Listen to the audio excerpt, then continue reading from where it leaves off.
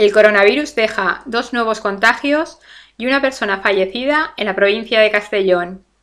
La provincia de Castellón continúa con su lucha contra el coronavirus. Desde la última actualización, suma a las cifras que deja la pandemia dos nuevos positivos y una persona fallecida a causa del COVID-19. Además, se han producido dos nuevas altas desde el día de ayer. Así se desprende de los datos facilitados este pasado jueves por la consellera de Sanidad Ana Barceló, en rueda de prensa donde ha comunicado cinco fallecimientos y 11 nuevos contagios a nivel autonómico.